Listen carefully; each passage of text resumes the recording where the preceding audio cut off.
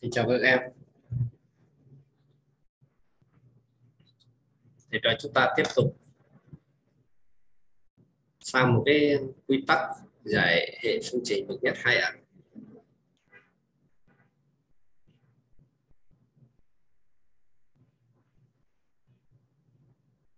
Đó là giải hệ phương trình bằng phương pháp cộng đại số.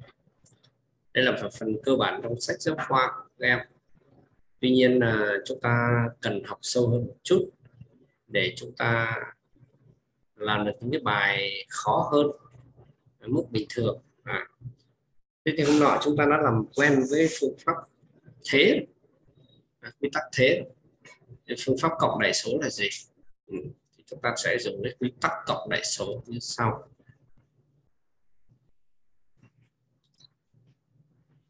à, ví dụ như là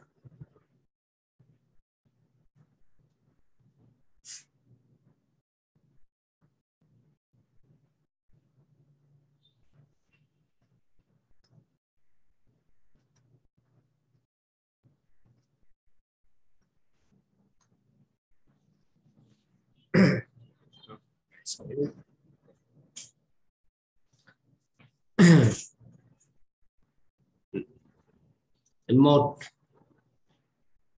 Ví dụ là giải hệ phương trình.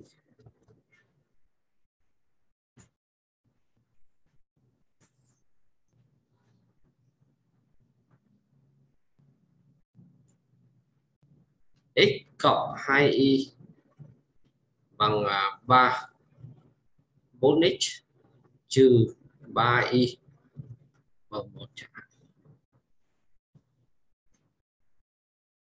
Phương pháp thế thì ờ, để làm rồi. Phương pháp thế các bạn. Bây giờ phương pháp cộng đại số thì khác phương pháp thế chỗ nào?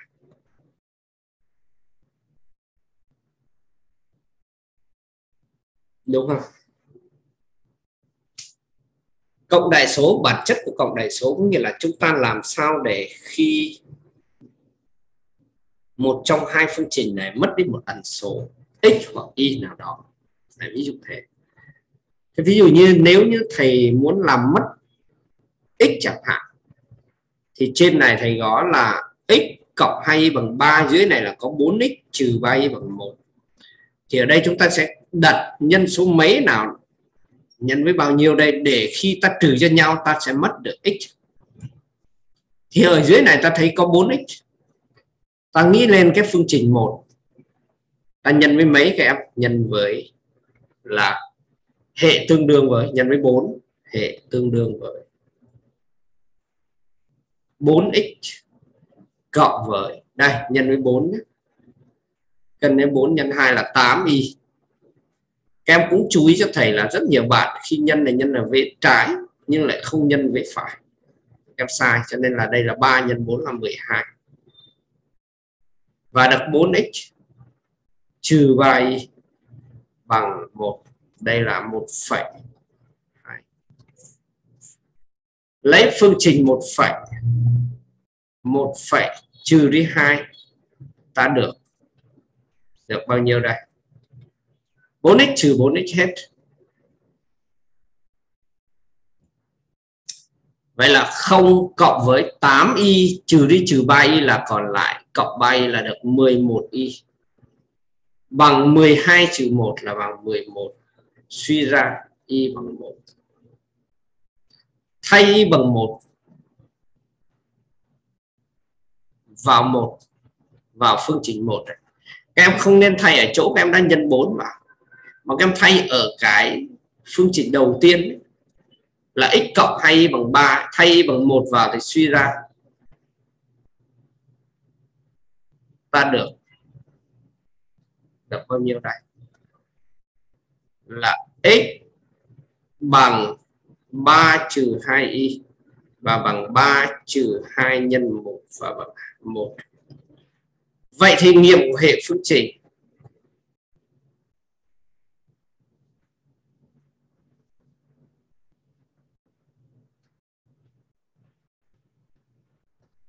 có tọa độ là một một. Em chú ý cho thầy.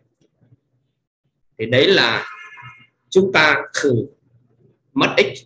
Thế cứ muốn mất y thì ở trên thầy có hai, ở dưới thầy có ba thì thầy nhân trên với phương trình 1 với 3 phương trình 2 với 2 sau đó ở trên thì có là dương, ở dưới có là âm thì thầy chỉ cộng 1 với 2 thì đều được cả. Ví dụ đây. Cái hệ này ta suy ra được cái thầy viết lại cái hệ này cho các em nhìn thấy dễ. Là x cộng 2y bằng 3 và 4x trừ 3y a à, bằng 1 thầy dùng mực đỏ, thầy phân tích một chút. Nếu thầy làm mất y thì ở đây có 2 đây có 3 cho nên thầy nhân trên với 3 và dưới với 2 thì ta được cái hệ này để viết lại đây.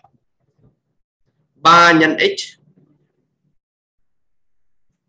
cộng với 3 nhân 2 là 6y bằng 3 nhân 3 là 9 còn ở dưới là à quên, cái này là 6y rồi. 2 nhân 2 là 4 là 8 y.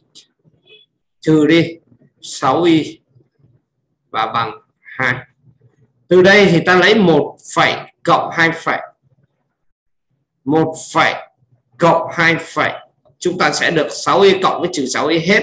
Còn lại 3x cộng 8x là 11x bằng 9 cộng 2 là 11 suy ra x bằng 1 sau khi tìm ra x bằng 1 thì ta thay vào một trong hai phương trình thì ta tìm ra y. Thì quy tắc đó chính là quy tắc cộng đại số. Cộng đại số vậy thì trước khi chúng ta cộng đại số thì chúng ta xem chúng ta cần làm mất ẩn x hay ẩn y để chúng ta nhân phương trình một hoặc phương trình 2 với một hằng số phù hợp. Khi ta cộng hay trừ hai cái phương trình vừa mới tạo ra để chúng ta có được là mất vai trò của x hoặc y ở một trong hai phương trình thì bản chất của nó là như thế. Em chú ý cho thầy.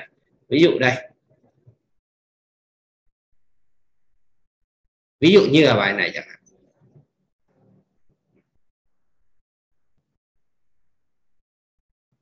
Như bài này. Thì thầy lấy trong sách giáo khoa, người ta viết thế này thì cũng ờ, được thôi nhưng mà các em có thể làm nhanh. Giải hệ ví dụ hai đây. Giải hệ phương trình.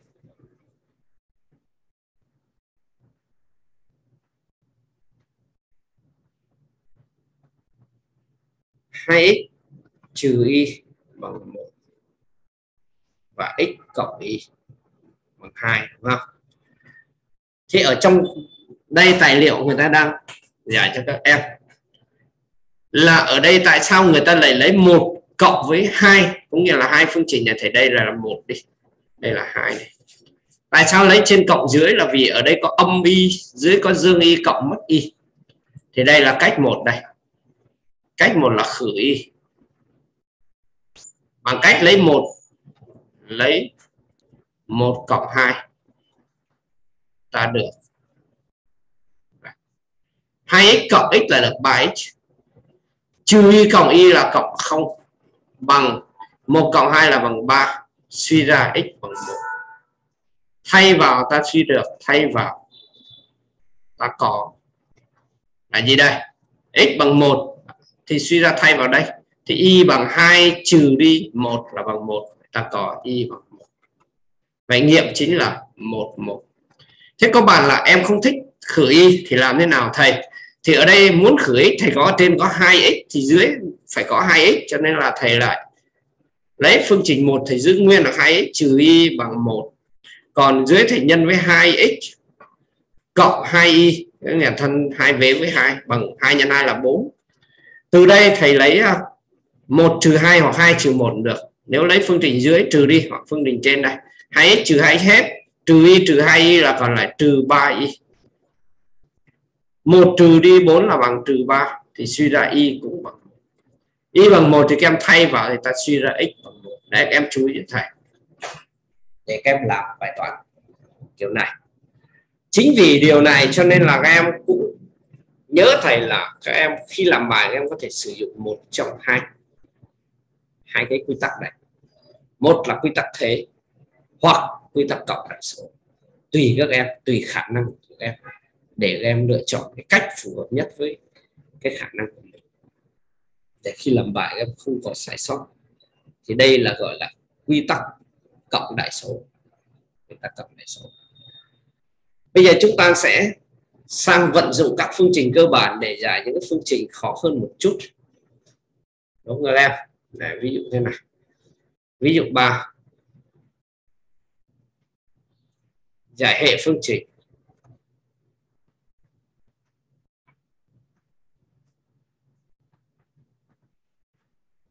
Bây giờ là thầy lấy một cái là hai nhân x cộng y cộng với 3 nhân x trừ y bằng 4 và x cộng y cộng với 2 nhân x trừ y. À, bằng 5 à. Tức khi nhìn cái bài toán này thì các em thấy nó rối. Thì thông thường các em hay làm cái này. Cách một đây.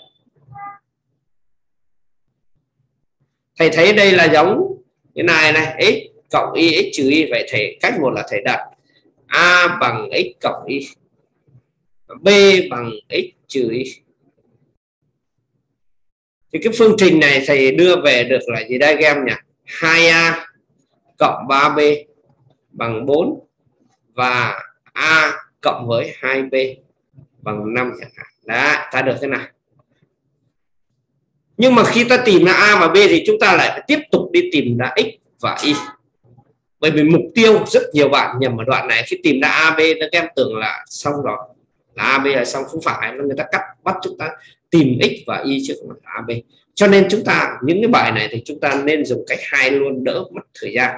Thầy nhân vào thầy nhân vào được là 2x cộng với 3x là được 5x